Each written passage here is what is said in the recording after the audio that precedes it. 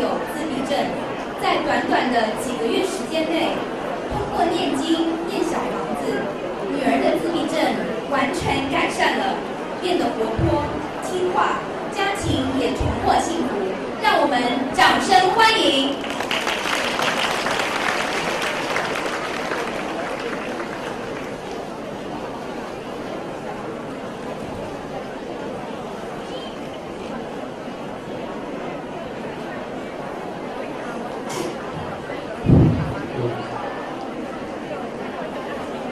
呃，呃，感谢有这个发言的机会。呃，我是王德志，来自马来西亚的吉隆坡。呃，我本身原本是很理性、很很强调科学思维的人。我凡事都呃，我凡事都希望有证据、有证明，我才可以相信某一些事情。呃，不过因为我亲身经历了一些事情后，呃，我现在改变了我的信念。我现在相信了观世音菩萨，相信了心灵法门。接下来就是我的经历。呃，我本身有一个有情绪障碍的女儿，现在六岁。呃，她从小就很难照顾，一直哭闹、喊、发脾气，呃，几乎天天都是这样子，经常落到家里的情绪很是呃紧张。有一天，我的太太跟我说：“呃，我们的这个两岁半的女儿好像有自闭的症状。”我第一时间马上反对，因为我觉得，呃，一个小孩子还小，不能马上贴上标签，他长大以后一定会改善的。一年后，三岁半，情绪没有改善，还变本加厉，更严重了。于是我们带他去看，呃，去做专业的评估，呃，结果得到答案是，我的女儿很敏感。有自闭的倾向，这一刻我终于接受了事实，于是给他开始做专业的治疗。我们总共用了三年的时间，啊，给他做这个专业的疗程，类似物理治疗。结果他的肢体上，嗯，四肢有了比较明显的改善，不过情绪并没有太多的改善，还是在家里跳喊、发脾气、哭闹，呃，连他弟弟都不敢靠近他。因为呃，他叫起来实在是太吓人，所以常常吓到弟弟也哭了。所以我们常常觉得，嗯，很是难过，不知道怎么处理这个问题才好。在这段治疗的期间，甚至有儿科的医生，呃，建议我们给女儿吃一种呃被严厉管控的药物，称为利他能，英文叫做 Ritalin。呃，它是一种控制脑中区脑中区神经系统的药物，它是给自闭症和呃过动儿孩子吃吃下去后用来安稳情绪的。可是我们并不敢用这个药物，因为它会带来呃很不好的副作用。比如说，当你服用这种药物之后，它会让你没有胃口，所以你必须再吃另外一种胃。药来让你有胃口，还有呢，就是会让服用者精神上很呆滞，变得呆呆的。再来呢，就是呃，随着你吃这个药物的延时间延长，它会渐渐失去效用，所以你必须再吃更多的药量来让你产生作用。所以我们了解了这个药物之后，我的太太马上把这个药物丢进垃圾桶。我们不想用这个方式解决孩子的问题。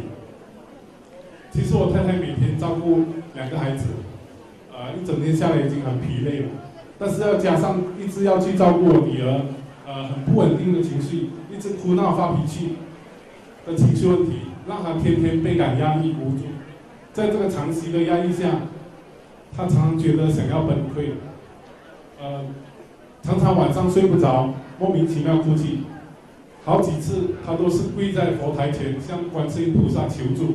不知道怎么怎么办才好。我相信是因为一位母亲的痛苦和无奈，让大慈大悲的观世音菩萨听到了我太太的求助声。接下来，我的太太在报纸上看到吉隆坡卢台长来办法会的广告。当他看到卢台长的照片时，有一种特殊的感觉以及信赖感，在心里留下很深刻的印象。很巧，两天后，呃，有一个朋友给了我们一本卢台长的书，呃，叫做《图腾世界》，已经给了我们一张入门票。就因为这样。呃，我一个人去参加了法会。当时我个人只是对于卢台长看图腾的能力觉得很神奇，但是并没有太多了解观世音菩萨心灵法门，也不觉得呃这个心灵法门会解决我的问题。所以去年这个这个吉隆坡的法会上半场我听完就离开现场了。呃，当天我还回头看，我带着卢台长的书籍。我还回头望向现场，我想我应该是不会再回来了，结果还是在这里发言。回去看了卢台长的书籍之后，去年二零一一年十一月，我的太太开始念经，三天后他就梦到过世的亲人，这使他更加的相信，嗯，心灵法门真的很灵，而我没有开始念经，因为我带着半信半疑的态度。直到有一次，我的太太去了观音堂，找了一位师姐，把我女儿的问题，啊，全部告诉了师姐。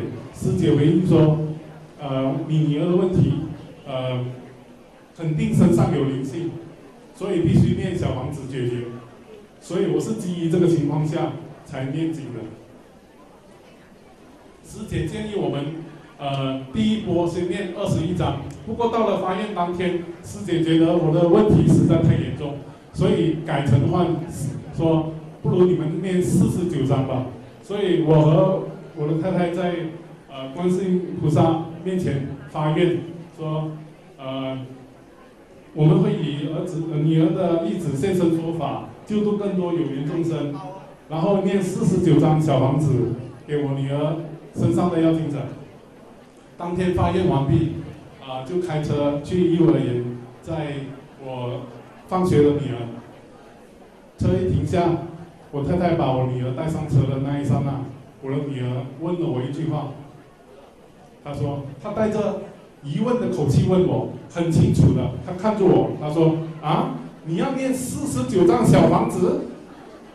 我立刻和我的太太对望，我看着她。我不知道是谁告诉他这个事情的。顿时，整辆车里安静下来。我和我太太对望，我又和我女儿对望，大家望来望去，不知道怎么办才好。忽然间，我们领会到了，明白了，是我女儿身上的灵性跟我们讲话。我们在回家的路上，虽然脸上不动声色，不过心里感受到发现真的很灵。菩萨真的很慈悲，他给了我这个科学思维人，凡是想要证据的人，一个很明显的证据，我女儿身上真的有灵性。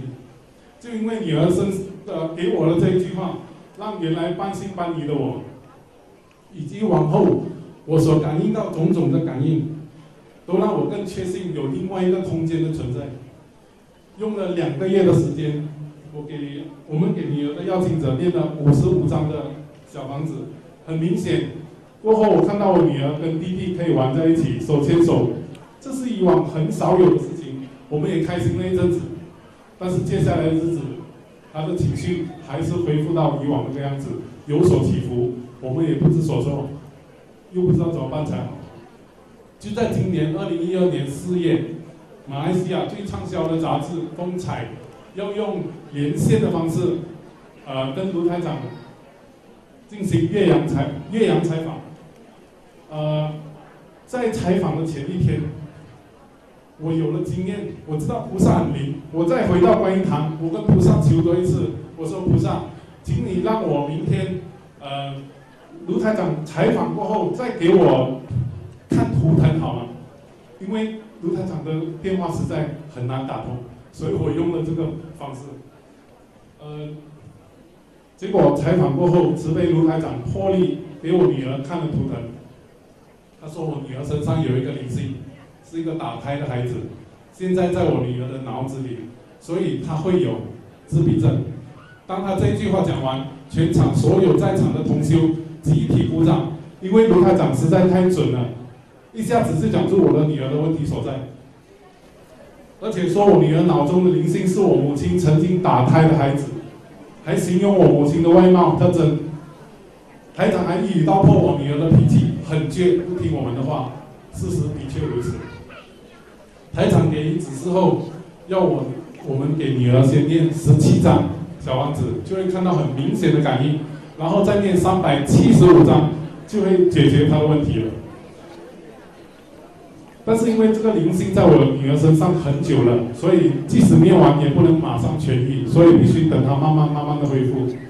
不过台长已经觉得我的女儿会越来越好，因为已经看到我女儿未来很活泼的样子了。看了图腾之后，我内心踏实很多。我和我太太已经看到了光明。隔天，我们呃下了决心，停止了我们做了三年的。女儿的疗程，因为也是因为一件事情，呃，专门提供给我女儿这个疗程的院长，其实告诉了我们一句话，说，其实你的女儿好不了了。虽然你们做了三年的这个疗程，但是因为情绪障碍是终其一生，你做下去只能保持每天而已，根本好不了。这个问题是跟着一生的，所以其实我们也是跌到了谷底，也不知所措。但是因为卢台长给了我们这么明确的指示，我们下定决心，停了那个疗程，专心在家念小房子，而且我们决定一定要在，呃，今年法会之前念完台长给予指示的小房子。但是因为过去的呃经验，我们用了两个月才念了五十五章，呃，对于这次台长给的数量，我。我有一点信心不足，所以我的个性又来了。我又跑去问啊，我又请求观世音菩萨多一次，这是第三次。我请求观世音菩萨给我在法会现场现身说法之前，一定要念完台长所指示的小房子数量。很感谢观世音菩萨，第三次，我和我太太用了四个月的时间，终于给女儿念完了三百九十四张的小房子。一切就如台长所料，我女儿情况越来越好了，个性也活泼，越来越多笑容，姐姐弟弟可以玩在一起，家里少了很多吵闹声，多了很多欢笑声。最明显的一个发现，是我女儿经常无意识喃喃自语的那个行为消失了。看到她好转，我老太太心里很高兴，天天都很感激观世音菩萨。所以最后。我再次感谢大慈大悲观世音菩萨，感谢慈悲卢台长，以及感谢心灵法门协助过我们的同修们。我发愿一定会做更多功德，救度更多有缘众生。谢谢各位。